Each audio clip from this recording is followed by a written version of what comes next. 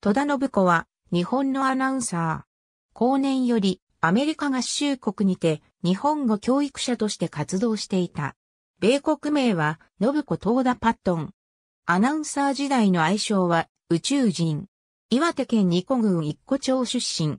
光科女子大学文学部日本文学科及び CHK 名古屋アナウンススクール卒業。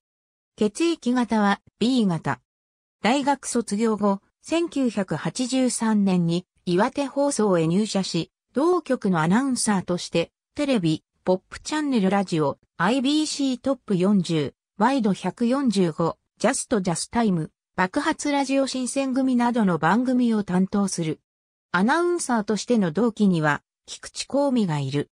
1988年に東京放送に出向し、テレビの報道番組 JNN ニュースデスク8889のサブキャスターを務める。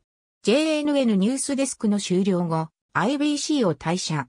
スタッフ、東京所属のフリーアナウンサーになり、テレビ朝日のステーションアイや CNN デイブレイクでサブキャスターを務めた。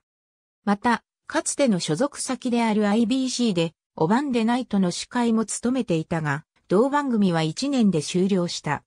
その後は、1997年3月に IBC が立ち上げた夕方ワイド番組、幸い意味の夕刊テレビと、かつて自身がパーソナリティを務めていた IBC トップ40に出演していた。両番組の終了後、幸い意味の夕刊テレビで共演していたアメリカ人男性と結婚しアメリカ合衆国へ渡る。ケンタッキー州で大学講師として日本語教育に携わる。また、日本語の教科書も制作した。タイトルは、ビギニングジャパニーズ。2018年8月4日、肺がんのため死去。58歳没。ありがとうございます。